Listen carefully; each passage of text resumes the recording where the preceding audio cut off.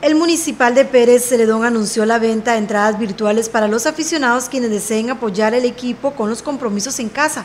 ¿En qué consiste? Con el pago de 5 mil colones, la persona tendrá un puesto asegurado en cualquier lugar de las graderías para colocar una foto suya o con la familia que serán impresas y ubicadas en diferentes puntos. Las imágenes estarán durante los tres partidos que restan del clausura 2020 que juegan como casa. La foto se debe enviar al correo municipal pz.prensa.gmail.com y la copia del pago.